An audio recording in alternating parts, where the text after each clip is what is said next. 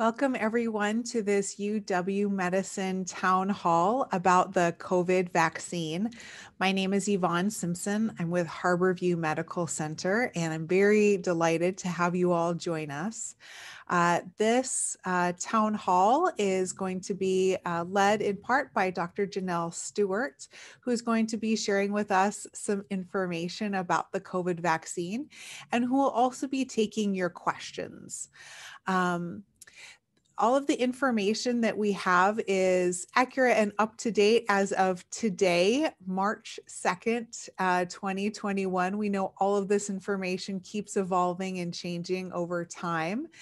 And um, uh, this information or this uh, event will also be recorded and can be rewatched at a later date. Uh, so if you would like to see it again, or if you would like to um, uh, share the information with anybody else, you can as well.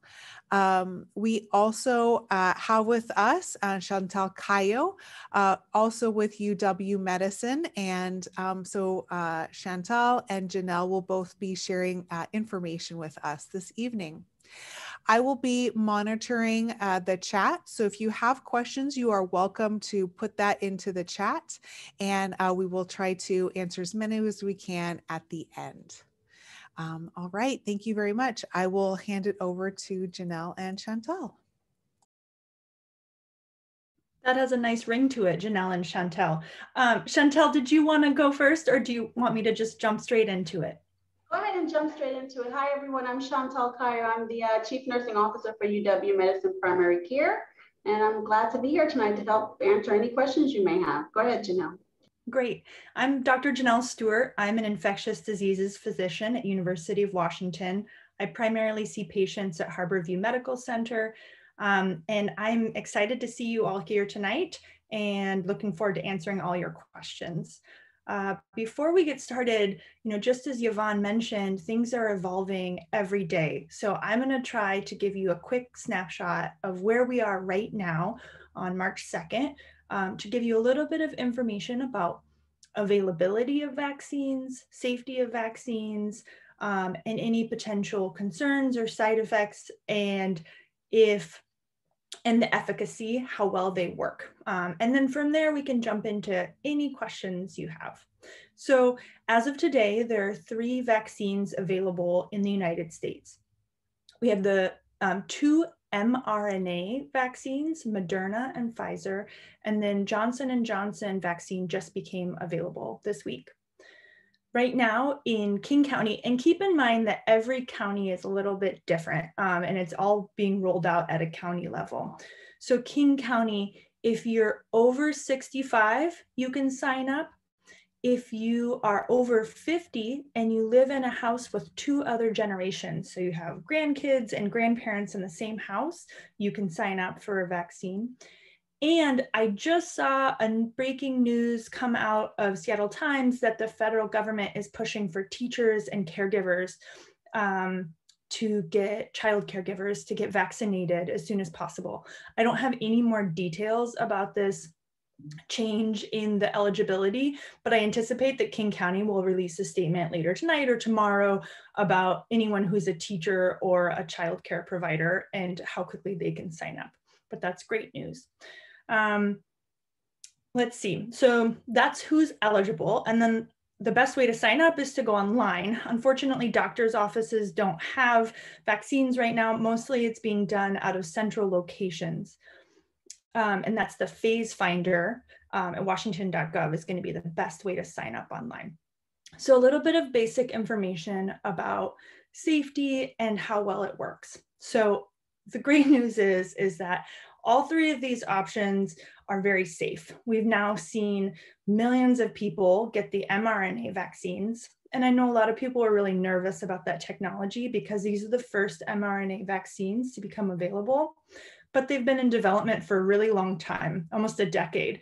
Uh, and because of the way that technology works, they were able to substitute out um, the virus they were working on before and put in the COVID 19 virus. And so it's new to the market, but technology that they've been working on for a long time. Millions of people have gotten that, and there have been no major side effects. I will say if you had a re bad reaction to a vaccine before, you're going to want to talk to your doctor about whether or not you should get the vaccine because some people do have allergies to the mRNA vaccines. Um, the Johnson & Johnson vaccine is also very safe.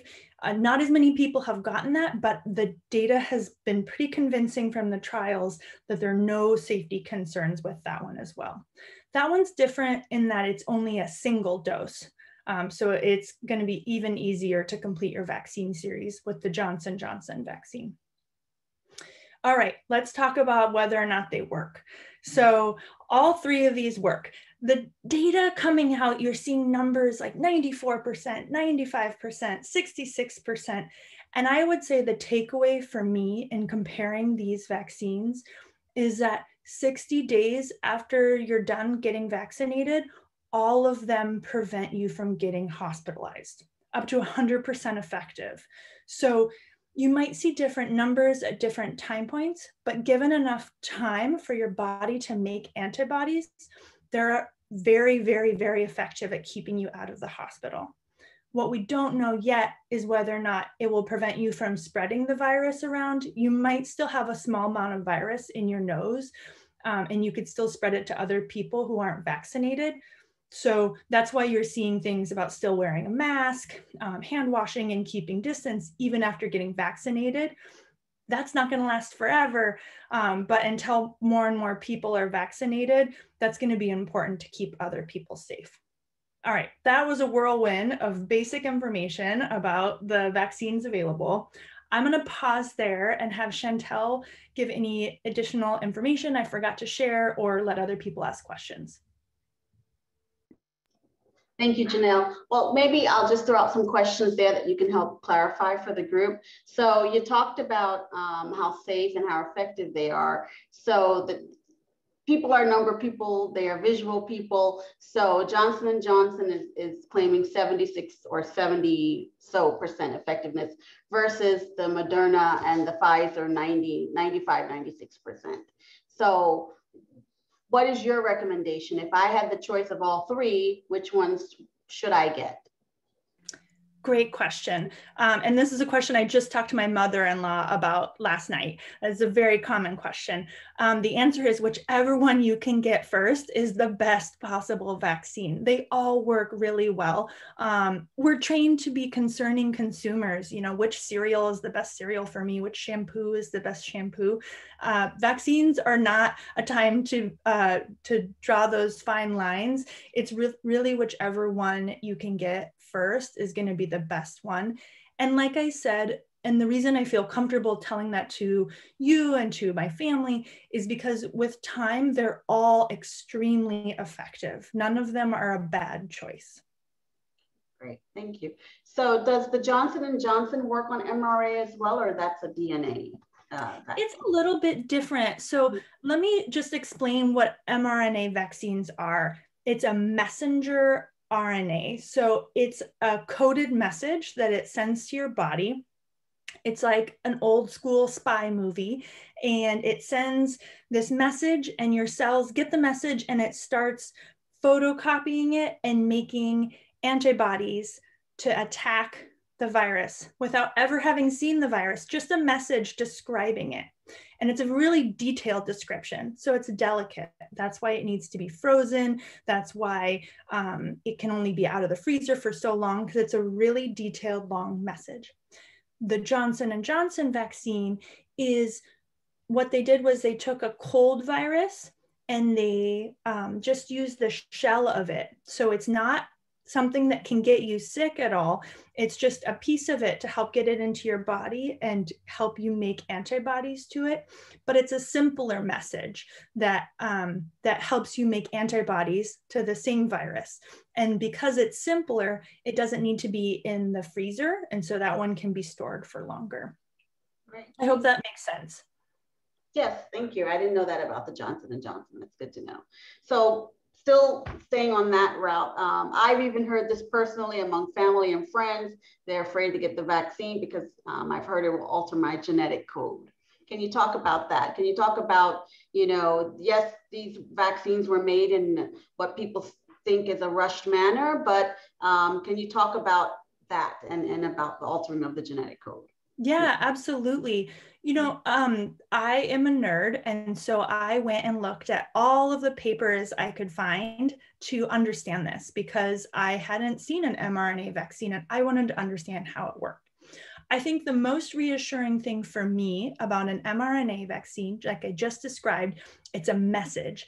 So once it delivers the message to your cells, it's a self destructing message. It disappears, it doesn't hang out in your body. Your body just remembers what to do and keeps making those antibodies.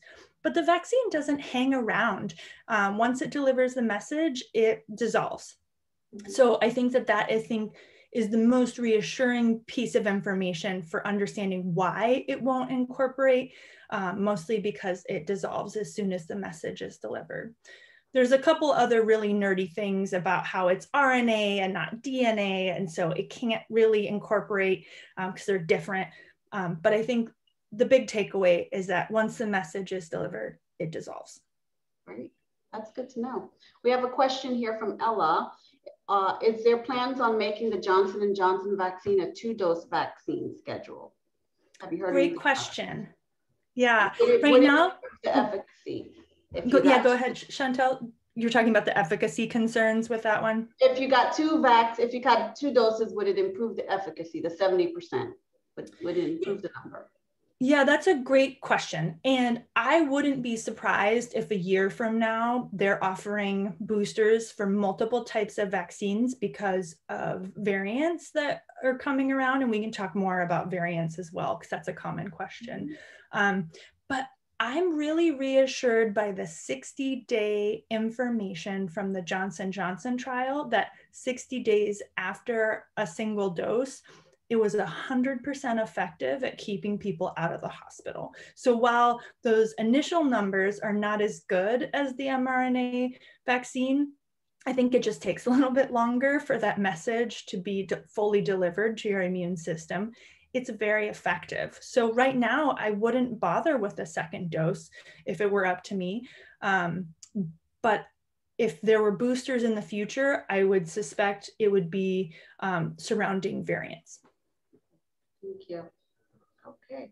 Um, so if you could talk about the variants, because that's been all over the news and it's been it's here in Washington. So what can you tell us about it and how can we keep ourselves safe? Yeah.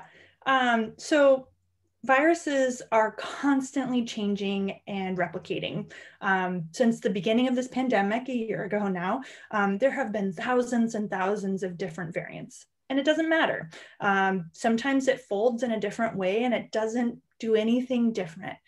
But sometimes the virus folds in a new way that makes it a little stickier. Um, and so when it finds your nose, a smaller amount of virus can get you sick. Um, and you don't need as many viruses um, as a different shape uh, would uh, need before. So that the variant that first was described in the UK and the variant that was first described in South Africa, they're a little bit stickier. So when it comes to vaccines, the great news is they still work. Um, the hesitancy that I have is that I think it just takes a little bit longer for your body to get it under control when it's so sticky. So that's why I thought that there might be boosters in the future because of variants. But I would still anticipate, and this is what we've seen from vaccine trials in the UK and from South Africa, that it still works very well to control the virus. It just takes a little bit longer. So you might have a little bit more symptoms, sniffles, headache, things like that. Um, but I would still anticipate the vaccine would keep people out of the hospital. Great. And if I had COVID previously, should I get the vaccine or am I immune? Another great question. Um, you should definitely get the vaccine. Um, after you get COVID, you develop antibodies, but they just don't last as long as after a vaccine. After a natural COVID infection, um, most people lose their antibodies after about 60 days. So you're going to want to get that vaccine for more lasting immunity. Great, thank you. Um, another question. Let me see if there's anything in the chat. Nothing in the chat. Okay. What is the normal flu vaccine efficacy? Ooh, great question. And this is a complicated topic that comes up a lot because it sounds like we have some smart audience members who know that year to year, the flu vaccine doesn't always work that well. Um, and that's because that's because um, the I think the best way to explain that is because we deal with variants all the time with influenza. And so they're always guessing ahead of time what variants are going to be the ones that come to Seattle and which vaccine we should give you. And so sometimes they guess wrong and they guess it's going to be a B type with certain proteins on it and it ends up being more of an A type with different proteins. And so it misses. So I can't answer that question with a number because it changes every year. I think the good news is that with influenza, every year we have different targets with COVID 19, we still have that one same spike protein target that remains the target. So that's really great news for vaccine efficacy going forward. It's not as much of a guessing game as it is with influenza. Here's another question Are there predictions on how long vaccine effectiveness will stay in place? That's a great question. No one knows the answer to that one yet. Um, and that's because uh, we've only had the, these vaccines in the arms of people for uh, almost i think the earliest data is going to be about a year out now. Um, and so we know that it's probably going to last at least a year um, and i'm guessing it's going to last longer than that but we just don't know yet. And is it a good idea to do blood tests for antibodies before being vaccinated? Oh great question. I would say no. Um, don't waste your time and money on testing for antibodies and that's because that gets back to what I was talking about about your natural immunity not lasting as long and how you'd still want a vaccine anyway. Um, and keep in mind that the blood test you get for antibodies is a slightly different, depending on how the lab measures it, it will measure a slightly different antibody uh, than the ones that your body makes after the vaccine, only because of the, the way that we find the antibodies with the tests but they're still effective, but the ones from a natural infection just don't last as long. So don't waste your time and money with antibody tests. Good, good, good answer. Um, so I was at a vaccination clinic this weekend and it was the Moderna vaccine. And one of the patients asked me, um, now that I've gotten my first dose, this was first dose, um, but can I socialize with someone who has their two doses already? What is the answer? Yeah, good question. Um, and I think we're all so eager for life to be different than it is right now. Um, and I wish that I could say that there would be a day in the future where all of a sudden everything will be different. And I think it's going to be a lot more gradual and slow than that. So after you're vaccinated, your body doesn't have full immunity for a couple more weeks after your second dose.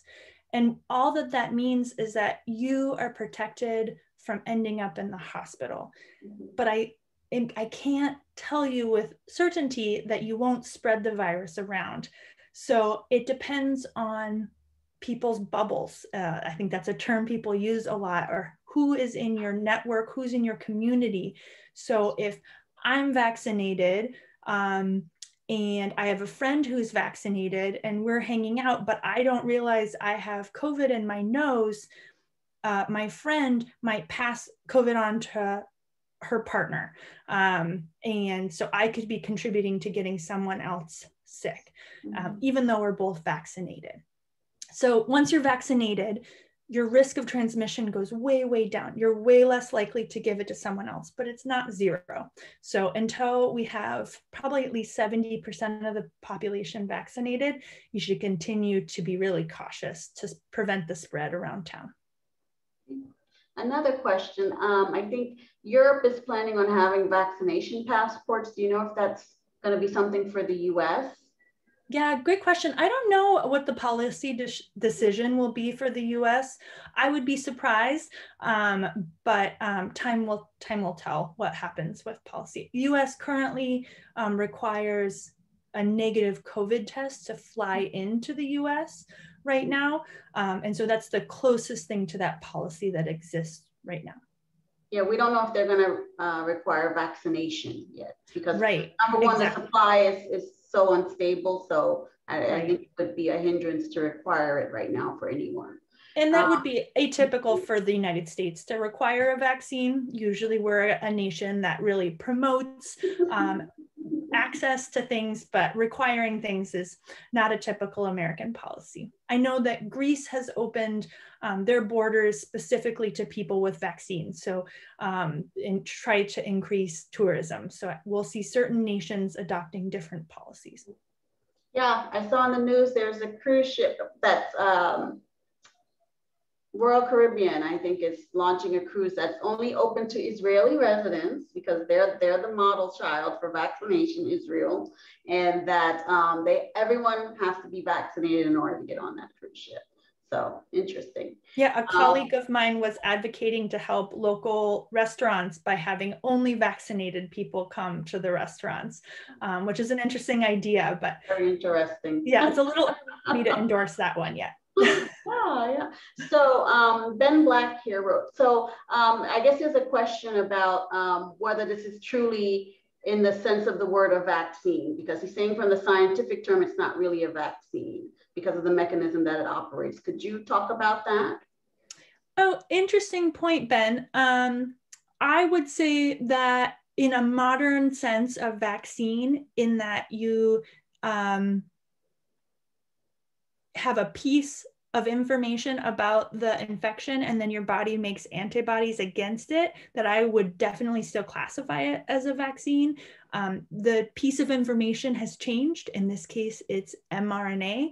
Usually it's little bits of protein, um, but either way, it's a little piece of information about what the target is, and then your body does the hard work and makes the antibodies.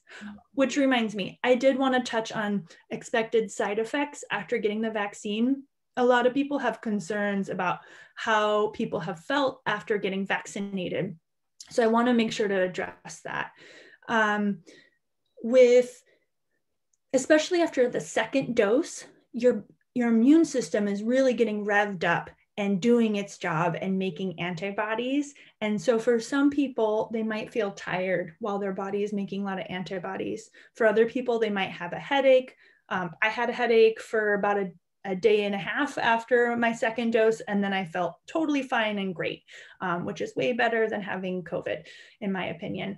Um, and some people have um, some fevers and chills. You can take Tylenol, um, and it everybody's symptoms goes away within 36 hours. And that is expected that you'll have some sort of response because your immune system is making so many antibodies. But it's not because you're sick with COVID, it's just because your immune system is doing a good job making antibodies. Yeah, I would say I received my two doses and I didn't have the side effect that I had was a sore arm for both. And then um, after my second dose, maybe the next day I felt a little tired. My eyes were heavy. I just went to bed early. Next day I woke up, I was fine. So um, Ben is also commenting, uh, there are too many unanswered questions and areas of concerns for me to consider receiving a risky and, and experimental therapy for an illness that is for most mild and quickly resolves itself without requiring medical treatment. I don't know that was just a comment or if there's a question there, Ben. Yeah, I can respond to that comment, Ben. Ben, I hear you. Um, I know that getting vaccines, especially when they're newer vaccines, uh, makes people want to see uh, time pass and see other people get those vaccines first to make sure that it's okay. I'm reassured that millions of people have gotten vaccines and have done really well. And part of it, you know, I'm talking about how you expect to have some side effects after it. And not everyone has a lot of symptoms with COVID. So part of my inspiration for vaccinations is not just for myself, but for my community. Because the faster we have a lot of people vaccinated, the faster we can get the pandemic under control and keep people out of the hospital. Even though I know that I am unlikely to end up in the hospital myself, I want to protect other people. So that's just a little bit of my own inspiration, but I hear you, Ben. Um, and let me know if you have specific questions um, that or concerns. I'm happy to address those. So I have a question from Ella. Um, can you give how many folks were vaccinated so far in the U.S. and in the state of Washington. I know for the state of Washington, I heard it on the news this morning, I think it's 1.3 million. I'm not, uh, that's about, I think that's what I remember what I heard this morning. Yeah, I, I wish I could tell you that number off the top of my head. I know it's in the millions. Mm-hmm. Um, I think that in the United States as a whole, 15% of the population has received at least one dose.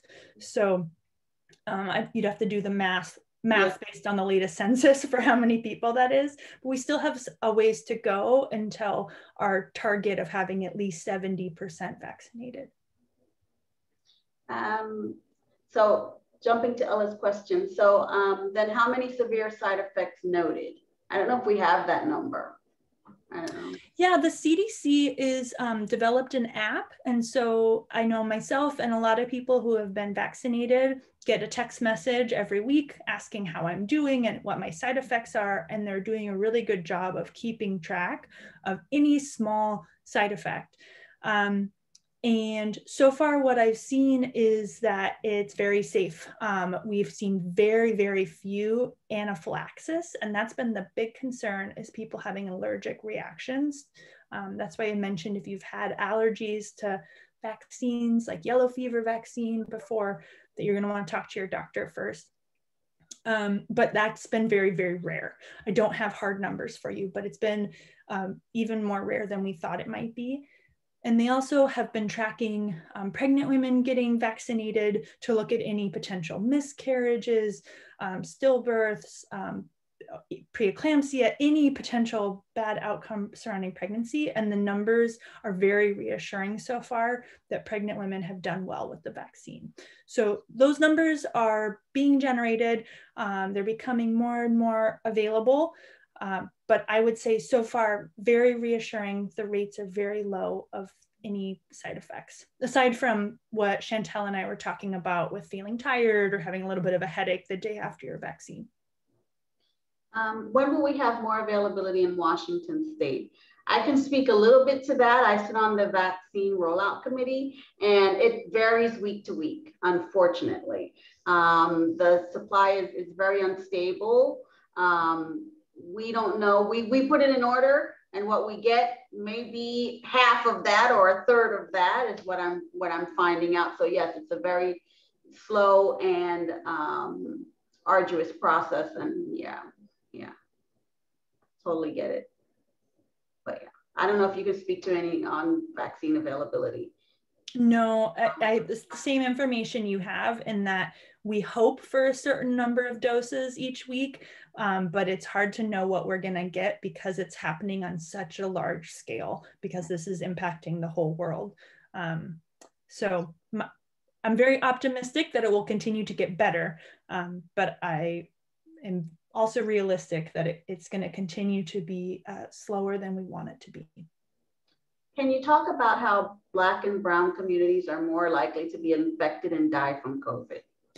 Yeah, this is a really important topic. Um, it we have seen this over and over, and I I think this is, you know, COVID is shining a light on the issues in our society, and we are dealing with some pretty serious racism in this country, um, especially at a structural level. Um, and so you're going to see COVID impacting those communities who are impacted by structural racism more.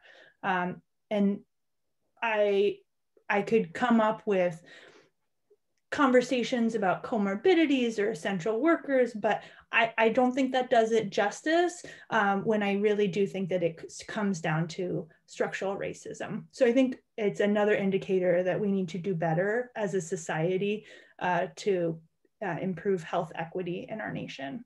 So in I know at Harborview, we're working hard to try to improve vaccine access, specifically for communities and zip codes that have been more impacted by COVID. And I think you're going to see those efforts more uh, with some of the larger rollout uh, in Auburn and Kent uh, this week. They've opened larger um, vaccine sites to try to improve access in those communities specifically. Um, but we've got a lot of work to do to address this issue. Um, it seems as though the UK government is expecting vaccines to cause impairments and disability and they have structured a compensation program. Um, have you heard anything about this and why has the US not done this? I have not heard anything about this. This has not been on the news at all. No, I haven't heard about that. So I, I can't comment. Yeah. I, I will read up on it.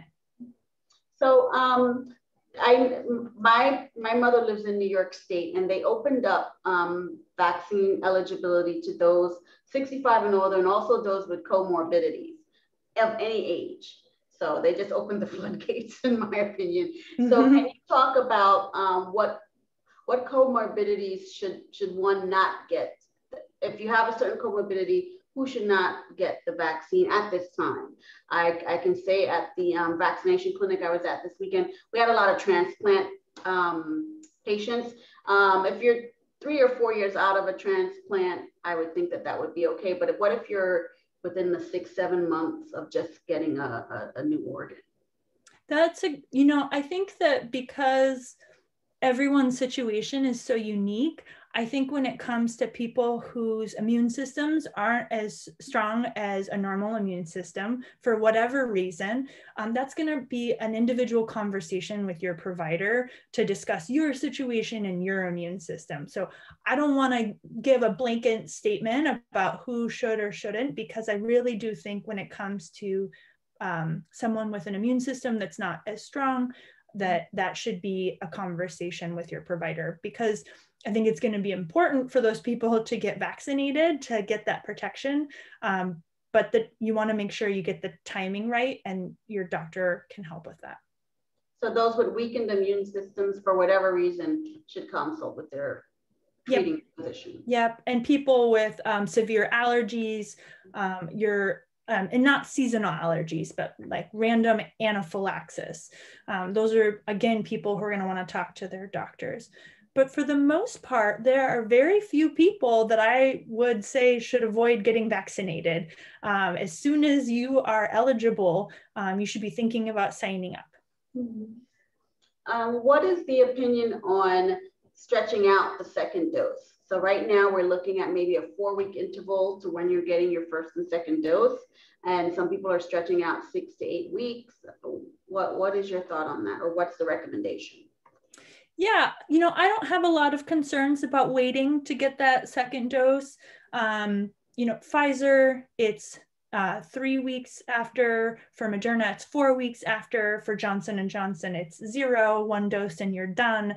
Um, and I think for uh, Moderna and Pfizer, first of all, let me say that if you get Moderna first, you're going to want to get Moderna second.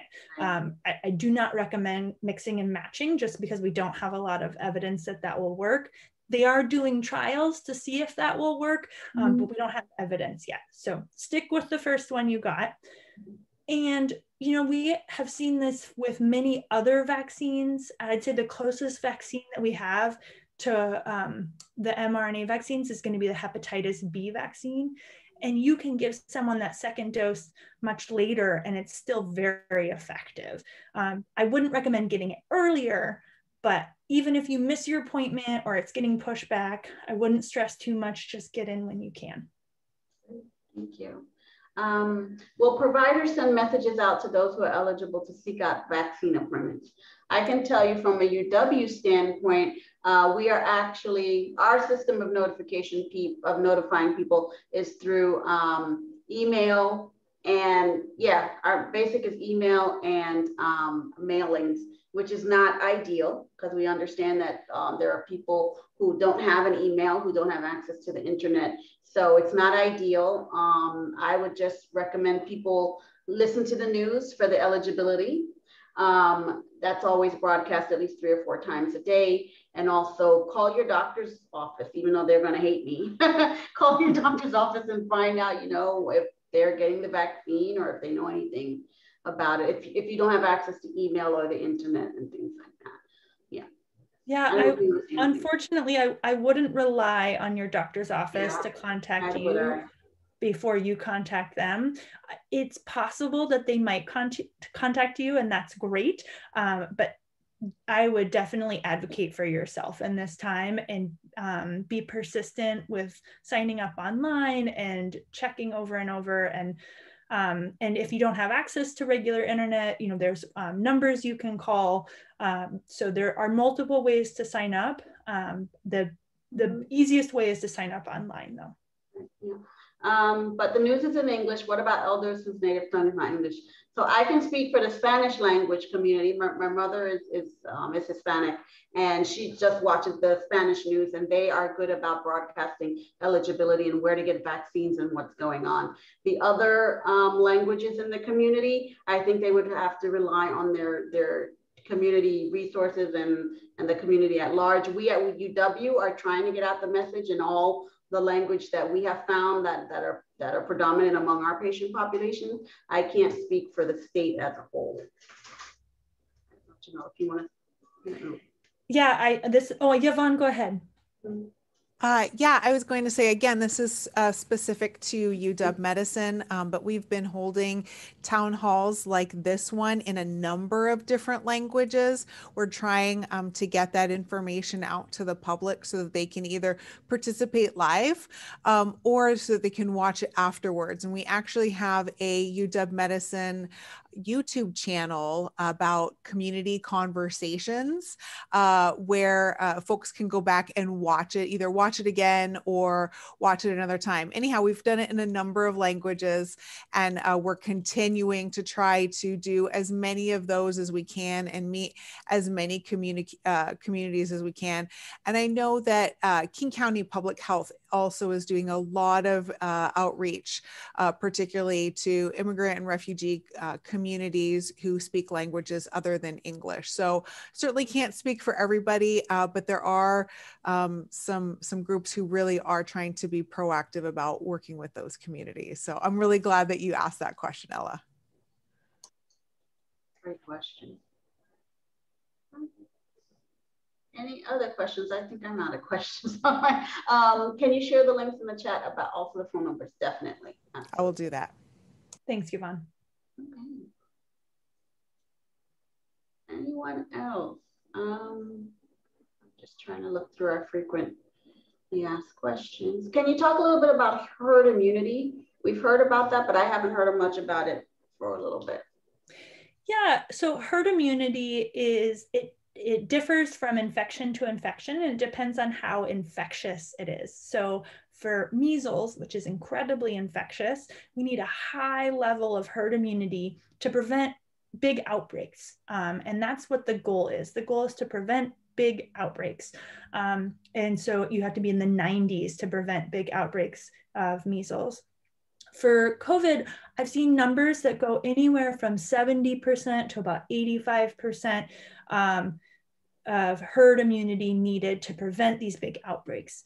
I think that once we get to that point, I, the goal and the hope will be that there won't be these big outbreaks, that life will feel a little bit more um, normal or how it was a, a, year ago once we've reached that point where most people in the community uh, have some immunity. So that's what the concept is about herd immunity.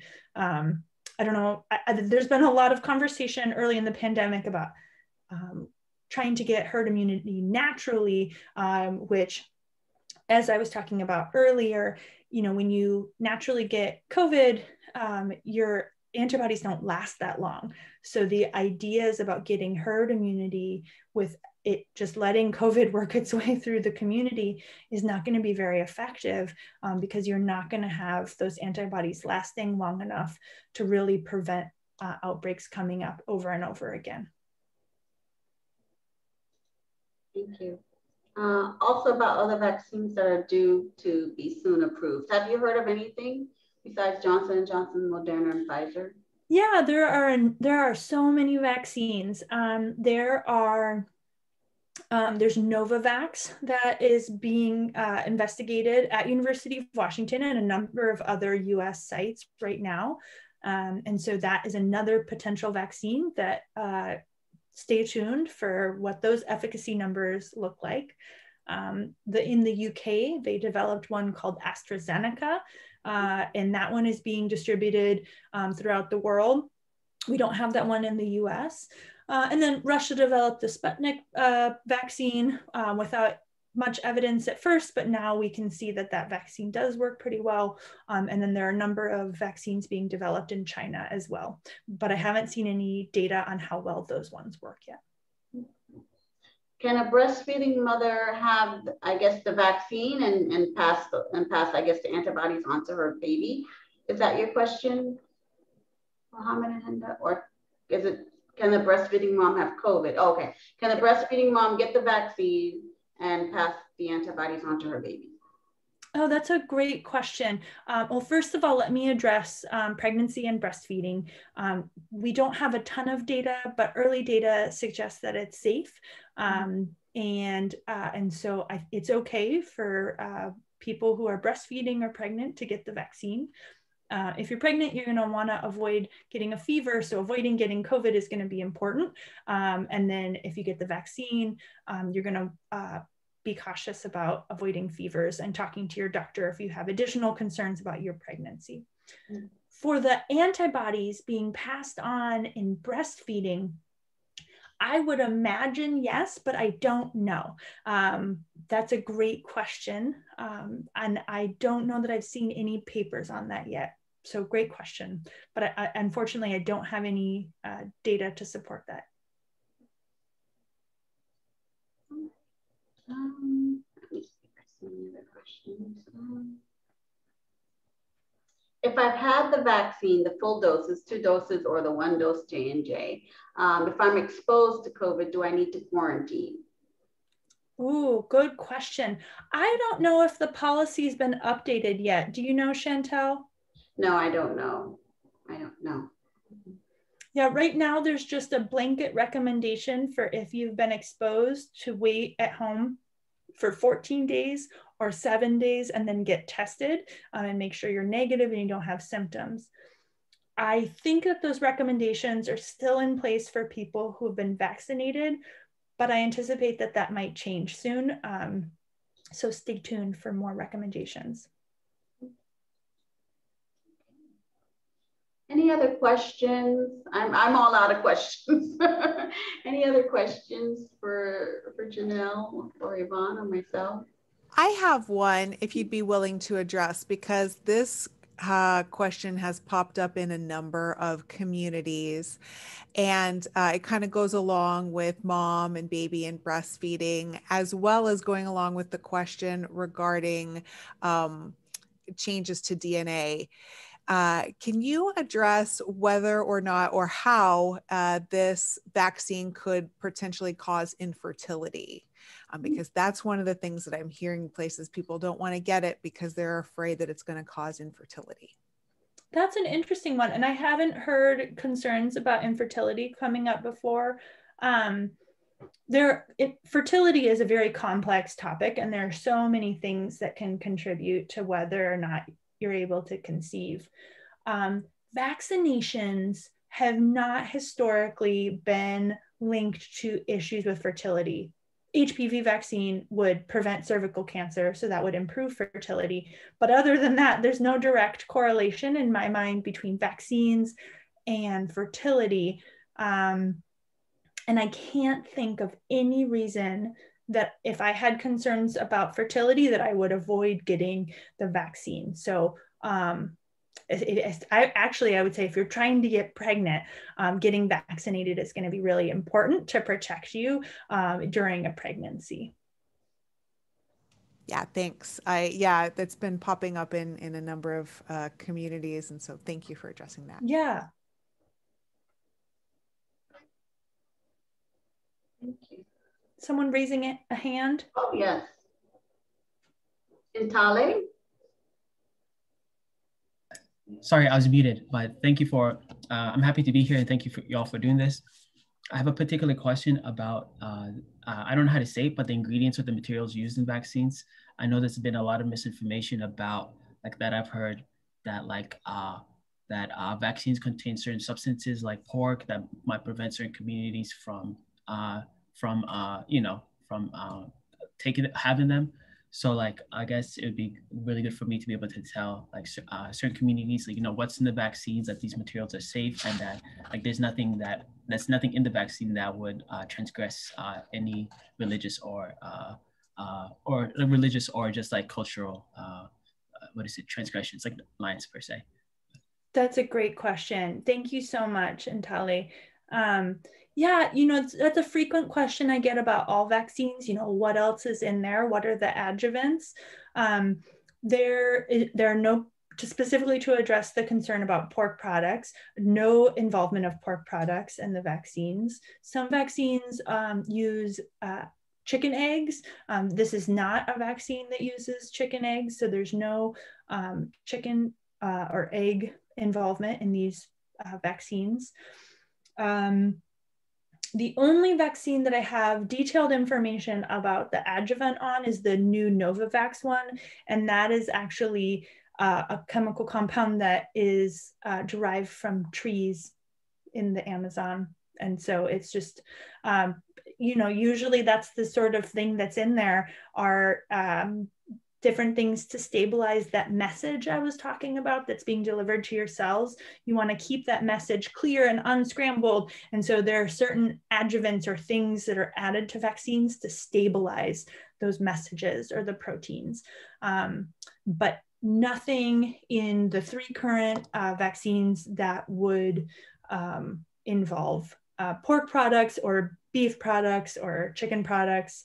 Um, or other mercury, that is a question that comes up a lot. No mercury involved in stabilizing this vaccine. Perfect. Thank you so much. Yeah.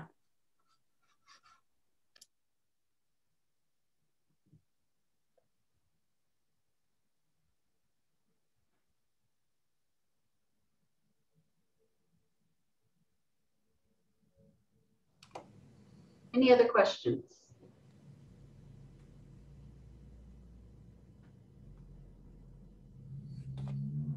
I hope I was able to give you guys some more information. I know this is changing every day, and there's always a new news article about vaccines. And, um, and so, if you have any other concerns that have come up outside of the news, especially on social media or your, things your friends have said, I'm happy to try to address those.